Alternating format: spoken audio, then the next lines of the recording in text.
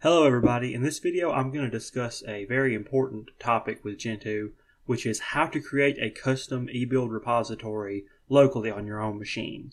Now this particular video is going to follow the Gentoo Wiki's tutorial on how to do this fairly closely. I will link to this tutorial down in the description of the video so you can go and check it out if you want to follow along that way. And the reason I want to do this is because I'm hoping to actually in the future, actually in the very short term future, create a video on how to make your own e-builds for your own programs. And so I would like to get out the information on how to create a custom repository that you could put these e-builds into before I get to that video. Okay, to begin with, what I'm intending to do in this video is demonstrate how you can create your own e-build repository. Now, an e-build repository is just a location on your computer that is going to store e-builds, that is, files that contain descriptions for how to install and manage programs that Portage will use to install and manage programs for you. Now, on a fresh install of Gentoo, you will have access to the Gentoo tree, the, the default Gentoo repository. And if you watch my video on Layman that I put out a few weeks ago, I demonstrated how to put in overlays, how to install overlays on your system. And overlays are remote eBuild repositories that you can use to install third-party programs on Gentoo. In this video, we're actually going to create a eBuild repository in the directory structure of our local machine so that we can install custom eBuilds that we make ourselves or that we find online. Okay, the first step is to navigate to the directory var var db. Let's ls this out. Now, Gentoo uses this var db directory to store its own repositories in the most recent versions. And it's here that we'll want to put our own eBuild repository. Now, to start with, what we want to do is we want to create a directory structure to store our eBuild repository. So we'll want to do sudo mkdir make directory with the dash p option to, to create parents if they don't already exist and then we want to create that in the repos directory here. That directory may not already exist for you, but if it doesn't, just go ahead and create it. In fact, this command will create it. And then a directory that contains the name of the repository, we're going to call it custom1. And then inside that, we want to create two directories. The first one called metadata, and the second one called profiles. Okay, so those directories have been created. The next thing that we want to do is we actually want to change the ownership of those directories. So we'll want to do sudo chown dash r to recursively change ownership. User portage group portage, and then in repos custom one. Make sure that you select the actual directory here and not the contents of the directory. Okay, we can change directory into repos custom one now. And let's it out and see that everything belongs to portage portage and that of course our two directories have been created. So now we have the layout, the structure that we need in order to create our own eBuild repository. So the next step will be to get to that. Okay, next we're going to have to create and edit some files. Now the first one that we're going to have to make is a file in the profile subdirectory here under var db repos custom 1, that being our repo name. It'll be under profiles and it will be called repo underscore name. Now this is a very simple file and the only thing that has to be in here is a single line that contains the name of the repo. We chose to name our repo custom 1. So we do that and then we just save changes and we're done. The next file that we'll have to create is going to be in the metadata directory and it's going to be called layout.conf conf config. So we'll edit that. And we're going to have to actually add two lines here. The first is going to be masters equals gentoo. And the second is going to be auto sync equals false. Now, what we're saying here is that the master of our custom repository is going to be Gentoo's default repositories. And we're going to say that it is not going to automatically sync with a remote web server for update purposes because it's located entirely on our own local machine. And with that done, we'll just write changes and exit. The last file we have to create is actually going to be a portage configuration file.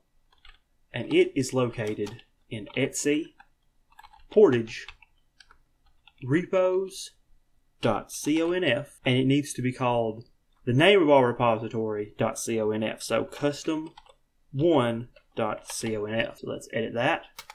All right, now this file needs to contain first a square bracket followed by the name of the repository itself. Ours was custom one, then a closing square bracket, and then on the next line, the word location equals followed by the directory that contains the repository var db repos and then custom one.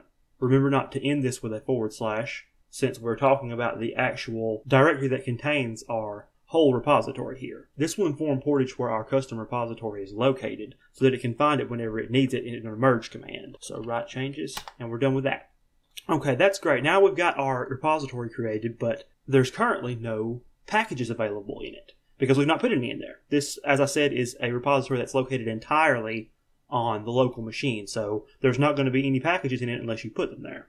So to quickly demonstrate how that's done, we'll actually be using the package that the Gentoo wiki uses as a demonstration on its own tutorial on how to create a custom repository, and it's called Artha, and it's actually a dictionary. Now this package Artha is not included in Gentoo's default repositories. To demonstrate, we can emerge dash "-p to simulate Artha, which is the package name, and you can see that emerge says there are no e-builds that satisfy Artha meaning that there are no packages in Gentoo's default repositories that correspond with this Artha package, this Artha dictionary. So let's add it ourselves. Let's put it in our own custom repository so that we can install it ourselves. Now the first thing that we'll actually want to do is we'll want to create a category and package directory for this e-build that we're going to create to be stored in. So let's mkdir make directory dash p again to create parents and then we're still located in the var db repos custom one directory. So we're in the directory that contains our local repository. So first we'll want to create a category name app D-I-C-T-S for dictionaries forward slash Artha.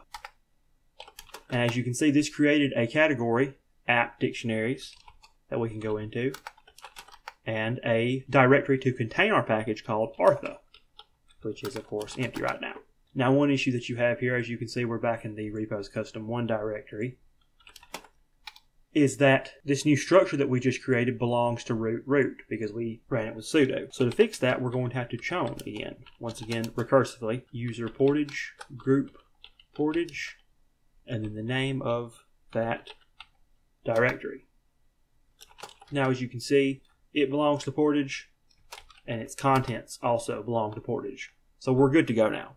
Okay, the next step is to actually get the Artha eBuild and put it in that Artha directory that we created. So this start, this eBuild is actually available from Gentoo's website. This is what it looks like. And I've gotten the URL for this here, so we can actually use wget to get this and put it in that directory. So let's cd to the Artha directory. As you can see right now, it's empty. And let's run sudo wget and then this URL that I've copied and then dash capital O for output file and we actually have a specific name that we need to give this. First, we need to give it the name of the package, Artha, followed by a hyphen and then the version number, which I know is 1.0.2, but you'll want to check the version for whatever eBuild you're trying to install yourself if it's not this particular one. And then dot eBuild. This is the specific name that the eBuild file has to have in order for Portage to be able to deal with it. So let's run that. And we've got it downloaded. And as you can see here, there's our Artha eBuild, and we can cat it out. And it looks like it should. Now the last step is going to be to run RepoMan in this Artha subdirectory. Now if you don't have RepoMan installed yet, you'll want to install it with emerge app portage RepoMan. But I already have it installed, so I'm ready to go ahead and use it. We'll want to do sudo RepoMan manifest and run it. Okay, and once that's done, it will have created for you a manifest file, which we can see here. Manifest. We can cat that out. Now, this manifest is used by Portage as part of the installation process of any particular package. And using RepoMan, we can create one for any package that we add here to our custom repository. Now, I notice one last thing that we have to do before we move on.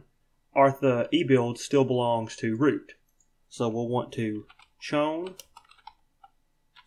that to Portage portage.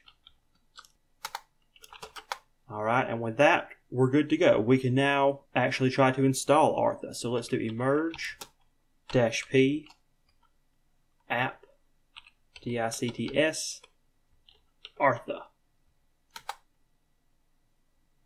All right, and as you can see, our eBuild works because Emerge has generated us a package and a list of dependencies that it will need to install this Artha package. And as you can see, app-dicts Artha is coming from Custom One repo, which is our own local repository. So we've done it. We've created a local eBuild repository here on our own machine, populated it with an eBuild of our own, prepared that eBuild for portage, and now we have successfully even emerged, or we would have if I hadn't run the dash P option, this package that we've added to our own custom repository.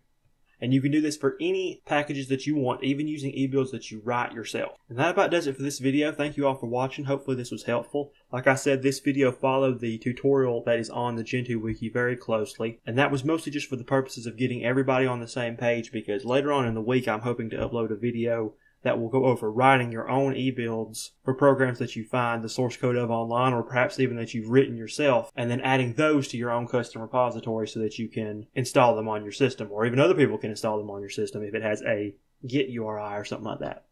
But uh, yeah, thank you all for watching and we'll see you next time.